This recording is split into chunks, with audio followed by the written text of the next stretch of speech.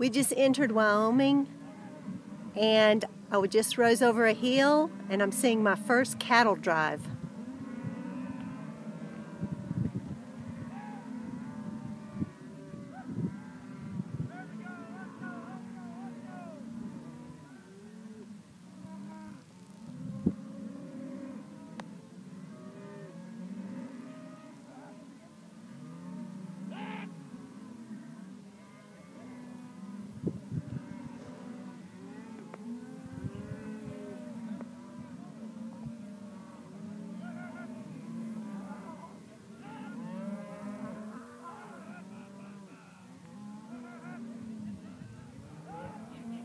And now traffic on the highway has to stop because these cattle are crossing the road.